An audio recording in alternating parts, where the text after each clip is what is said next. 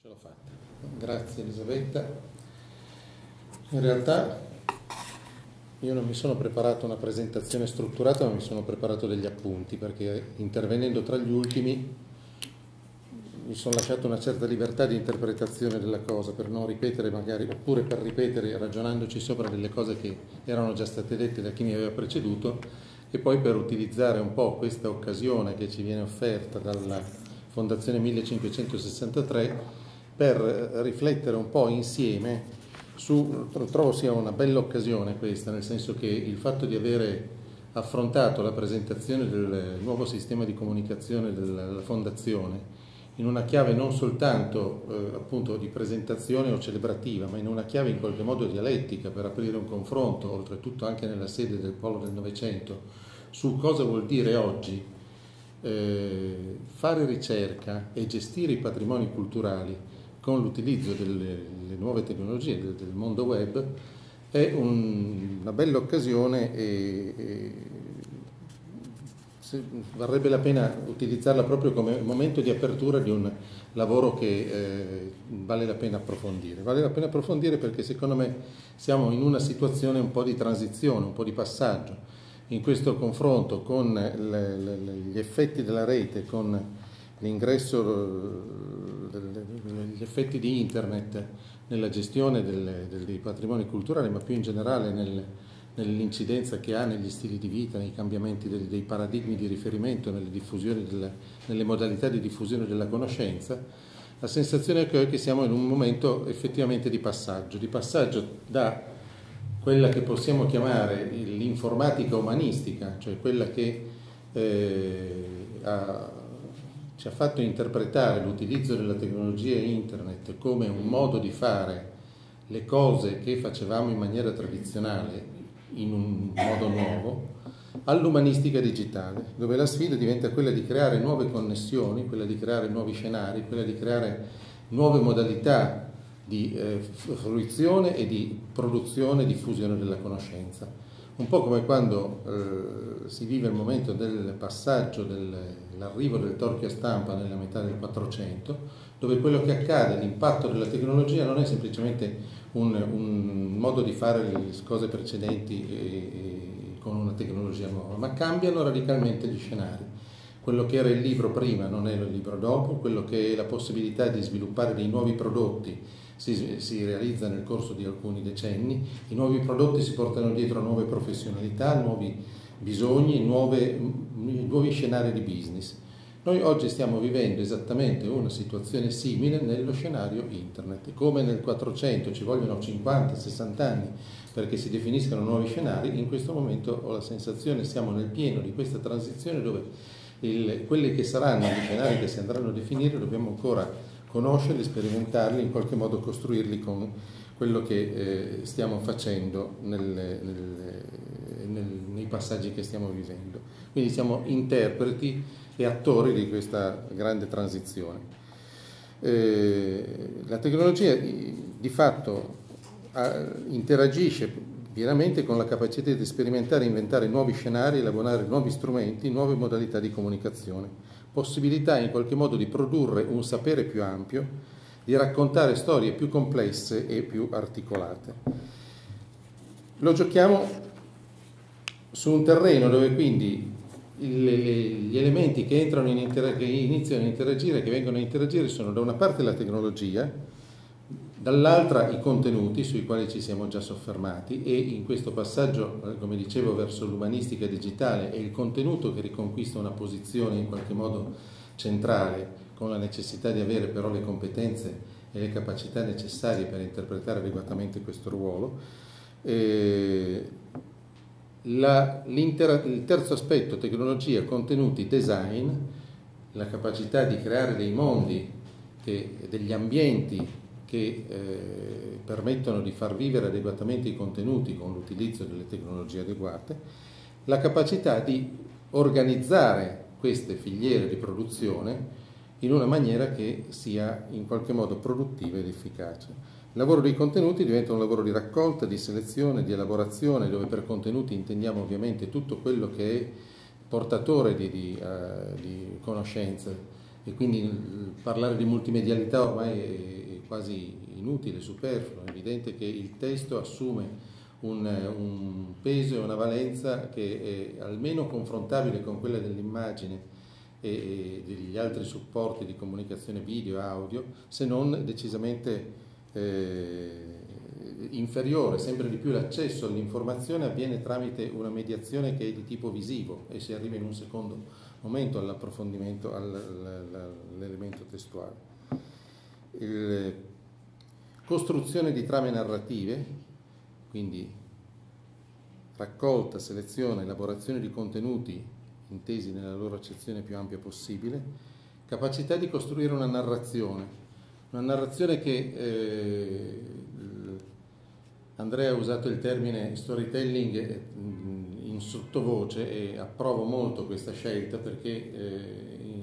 il termine storytelling, così come eh, diceva Vitali all'inizio del suo intervento, c'è una forte perplessità nell'aspetto della comunicazione urlata. Storytelling mh, mm, non mi piace più tanto perché eh, prescinde dal documento, l'origine e l'uso del termine storytelling, tipicamente nel mondo del marketing, è un contesto, è un uso che non tiene conto del documento. Quando ti chiamano per fare un intervento, di, un, un'operazione di storytelling, di comunicazione basata sullo storytelling, spesso ti trovi a dire, mondo delle aziende,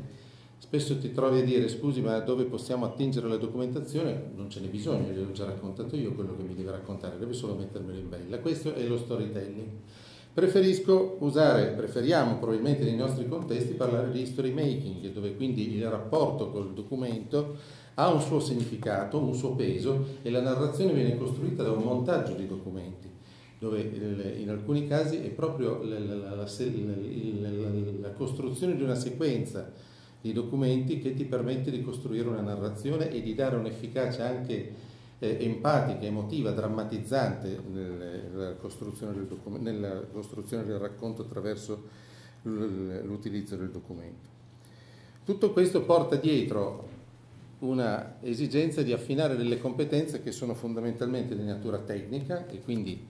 eh, una capacità anche per chi viene dai, dal, dal mondo umanistico di interagire con competenza con i tecnici, Capacità di natura editoriale, dove si tratta di recuperare quelle che sono delle tradizioni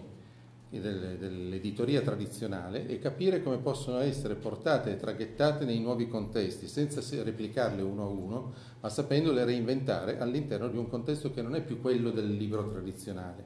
ma quelle competenze che, richiamano anche la cura del particolare, gli aspetti di eh, cura formale, eccetera, eccetera, secondo me varrebbe la pena non perderli. Il design, lo abbiamo già detto, l'aspetto del, diciamo, del management progettuale, degli aspetti della capacità di eh, eh, tenere le fila di un'organizzazione, di un lavoro che spesso, anche per il fatto che vede interagire attori molto diversi, in gruppi di lavoro diversi, ha eh, una sua complessità e di conseguenza importanza.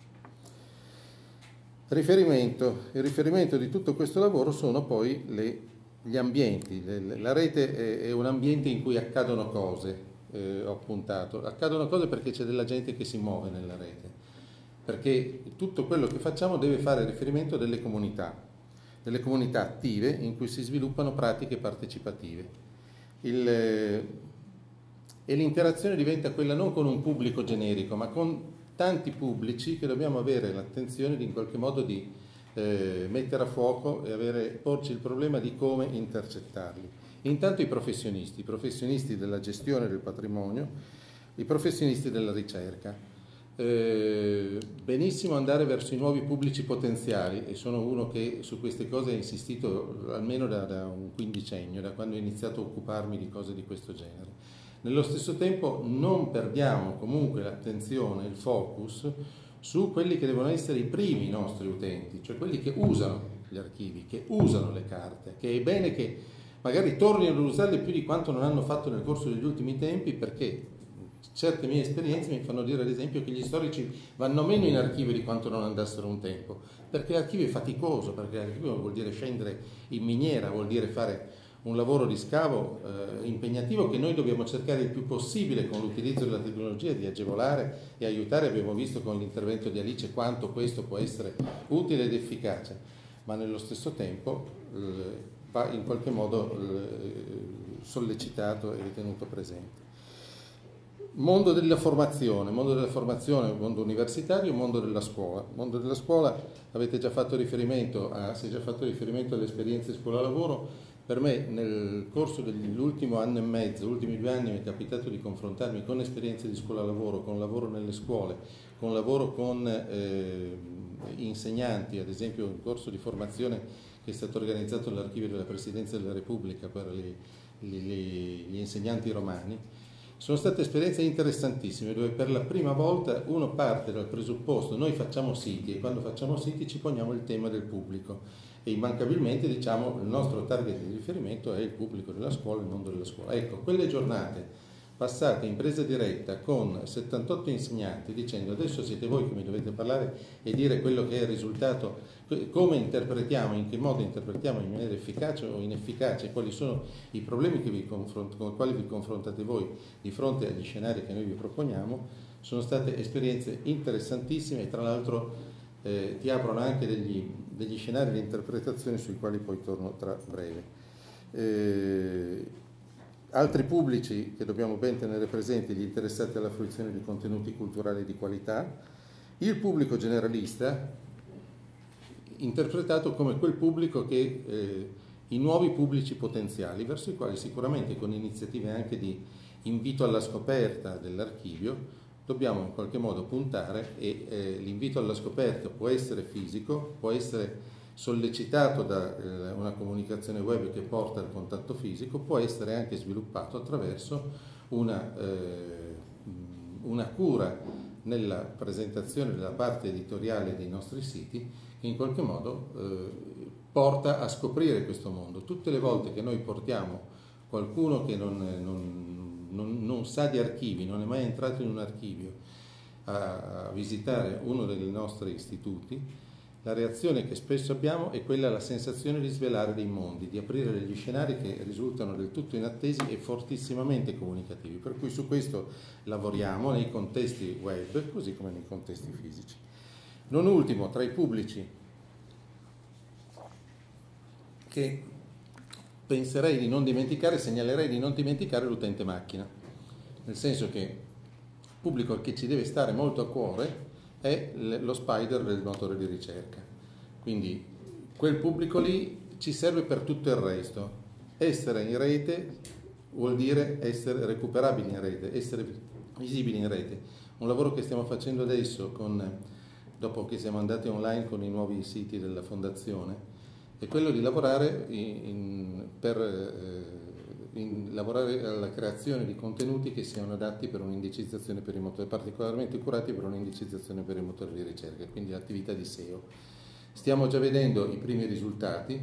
queste cose qui vale la pena tenerle ben presenti e monitorarle, conoscere lo strumento col quale si ha a che fare, cioè questo benedetto spider di Google, stargli dietro, dico Google perché comunque copre il 98% del mercato italiano, per cui eh, soprattutto su quelli, di quello dobbiamo preoccuparci Stargli dietro perché ha il buon gusto di variare sistematicamente le sue 94 variabili con le quali definisce i criteri dell'algoritmo, parte pubblici per questi criteri, parte privati, parte tecnici, parte relazionali. Su quelle relazionali è bene che eh, teniamo un'atten- comunque un'attenzione. Torniamo ai due contesti. Fondazione 1563 ci permette di riflettere su, provare a fare il punto su internet e la ricerca, internet e la gestione e valorizzazione dei patrimoni culturali. Ricerca. Ricerca, e su questo terreno abbiamo iniziato un po' a ragionarci anche come, con eh, la Fondazione. Ricerca, oltre che ricerca intesa come eh, abbiamo visto con l'intervento di Alice, quindi del ricercatore che utilizza il web per condurre una sua ricerca che eh, su questo eh, ritorno è stata definita solitaria. Ecco, c'è uno scenario di ricerca sul quale mi interessa portare l'attenzione che secondo me è eh, una roba sulla quale dobbiamo lavorare ed è tutt'altro che solitario cioè l'utilizzo del web, l'utilizzo delle piattaforme per costruire gruppi di ricerca, per condividere elaborazioni di ricerca, per condividere documentazione, per fare in modo che gruppi di lavoro che sono distribuiti non necessariamente nello stesso luogo possano elaborare conoscenza. Quindi non lato comunicazione in questo caso, o meglio non solo comunicazione, ma lato strumento di lavoro. E questo secondo me è uno scenario interessantissimo su cui in ambito umanistico si è fatto ancora molto poco, mentre invece eh, vale la pena assolutamente rifletterci. Dopo ho voluto portare un case history che secondo me è interessante da questo punto di vista perché ci fa vedere come si possono ottenere dei risultati, come ci siano delle esperienze in giro che vanno in questa direzione e possono ottenere dei risultati interessanti. Eh, quindi Internet, il web come piattaforma di lavoro che permette di condividere documentazione, di raccogliere, di seguire le fasi di sviluppo di un progetto, di produrre ed elaborare eh, stati di avanzamento lavoro, di predisporre i contenuti in modo che siano già confezionati e pronti per essere poi rimontati, contenuti liquidi, singoli elementi che rimontati possono produrre, realizzare prodotti di tipo differente, possono essere estratti per realizzare prodotti tradizionali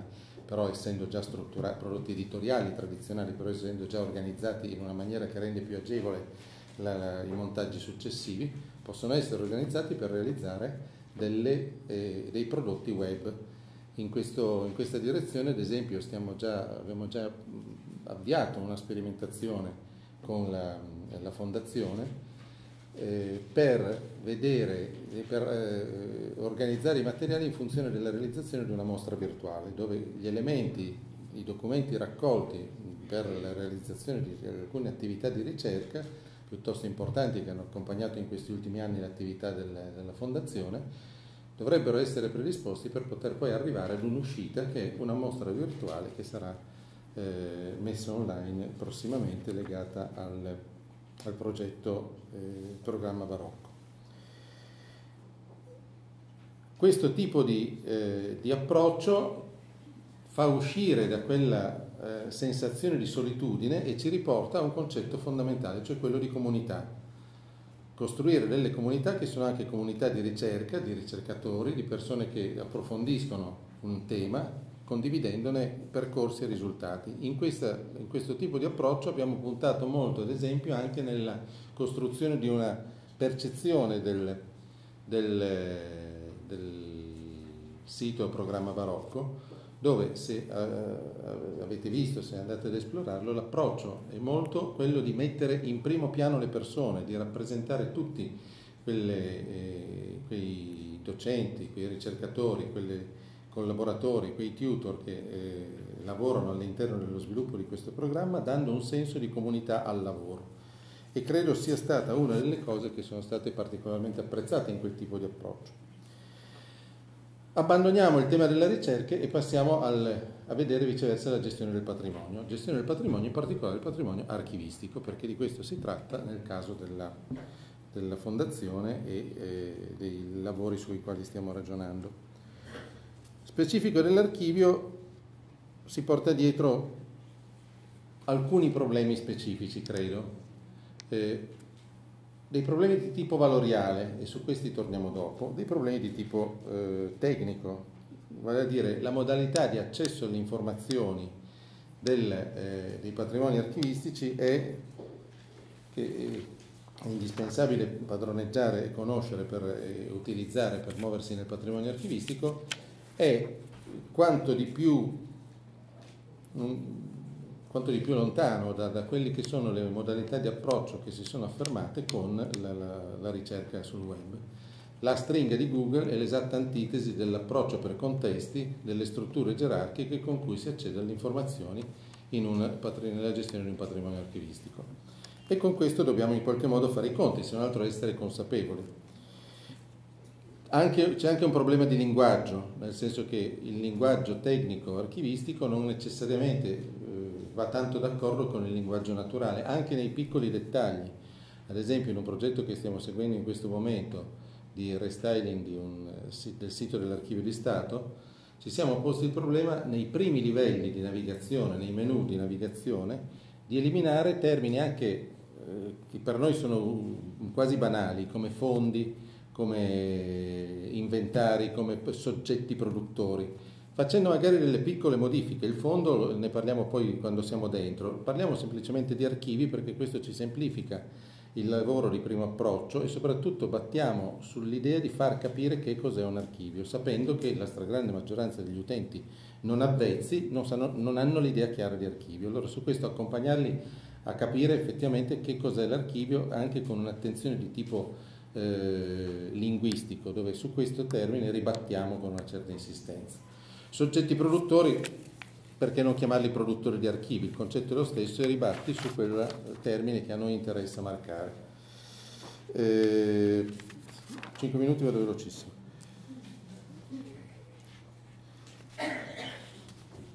Dicevamo, la ricerca, gli stili di navigazione abituali non sono esattamente l'ideale per eh, muoversi nelle, nelle, nostre strutture gerarchiche. Da questo punto di vista allora dobbiamo porci il problema di come affrontiamo questo nodo e direi secondo me vale la pena cercare di affrontarlo in due modi. Uno, accettando la logica della stringa. Se siete abituati alla stringa, io la stringa ve la do, la uso anch'io. Se guardiamo eh, quello che è accaduto, eh, ad esempio, in molti siti archivistici che possono essere considerati come dei riferimenti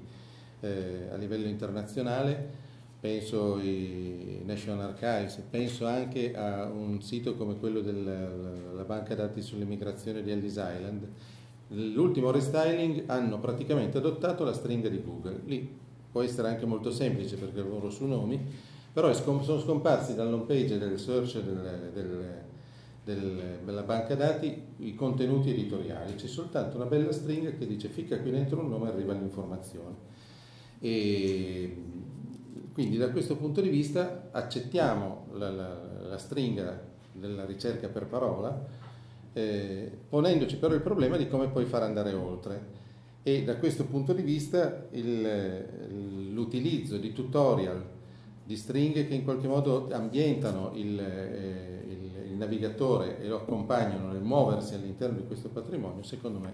va assolutamente eh, confermato. E poi lavorare alla produzione di tutta quella serie di, di eh, possibilità di accesso alle informazioni che eh, sono sottoutilizzate. Abbiamo già parlato di indicizzazione, già par- parlerei anche di soggettazione.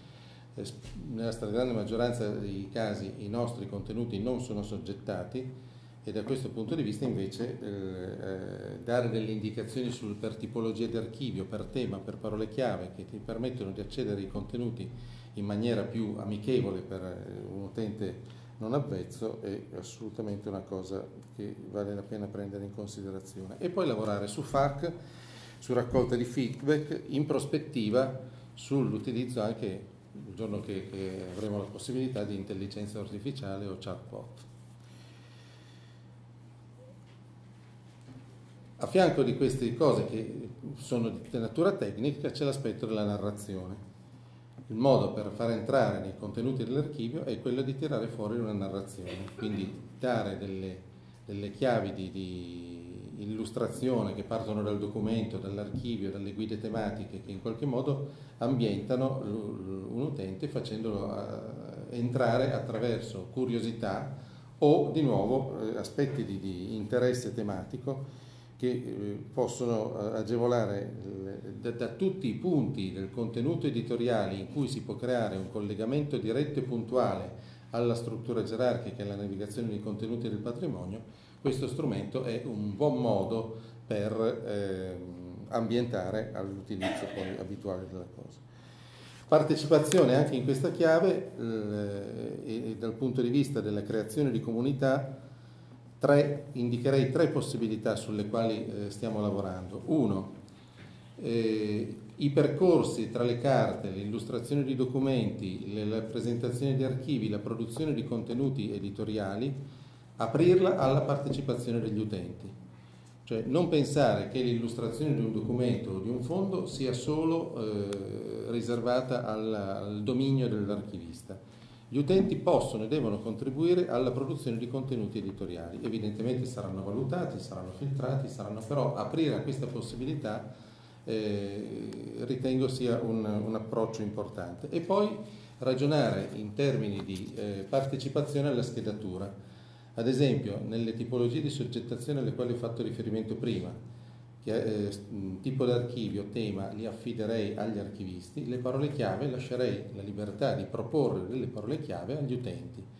Questo perché? Perché l'archivista comunque darà, eh, una, una, attribuirà un tema di ordine generico. L'archivio di un ospedale gli darà un'attribuzione di archivio sanitario. Chi lavora poi dentro il fondo può trovare degli spunti per suggerire, ad esempio, che determinati pezzi di quel fondo possono essere utili per una ricerca sull'ambiente, sul clima, sugli stili di vita. Metterlo in condizione di poter proporre e suggerire questo tipo di accessi credo sia un modo per creare comunità e far sentire partecipe eh, del progetto gli utenti. Eh, schedatura partecipata anche coinvolgere su determinati fondi gli utenti perché contribuiscono ad aggiungere informazioni al contenuto delle descrizioni. In, questo, in questa direzione faccio due esempi, sempre legati all'esperienza che abbiamo con l'Archivio di Stato di Torino. Il, il, il progetto che riguarda, ha riguardato la schedatura dell'esercito garibaldino, dei 35.000 nominativi dei partecipanti dei combattenti dell'esercito meridionale, quelli che partono da quarto arrivano in 35.000 al Volturno e poi i Garibaldini di Bezzecca in tutta una banca dati di 80.000 nominativi, sta continuando a generare contatti. Alcuni degli utenti ci mandano delle, delle comunicazioni che vanno a integrare le informazioni perché hanno dei documenti legati alla storia del bisnonno, del Trisavolo che ha combattuto con i Garibaldini e ti mandano magari la foto del, del, del Garibaldino trasferitosi poi in California e, e, e, e le ultime parti della sua esistenza. L'altro progetto sul quale stiamo ragionando di avviare una schedatura partecipata è un fondo fotografico privo di didascalie. L'intenzione sarebbe quella di aprirlo alla eh, schedatura da parte degli utenti, quindi se riconosci una persona, un luogo, visto che si tratta di un archivio prima, di fotografie della Prima Guerra Mondiale, un reparto, una situazione, aiutaci in qualche modo a costruire delle informazioni lavorare in questo senso nella direzione di eh, creare comunità. Io ho finito, ho, volevo solo lasciarvi due esempi, uno di eh, lavoro di ricerca e l'altro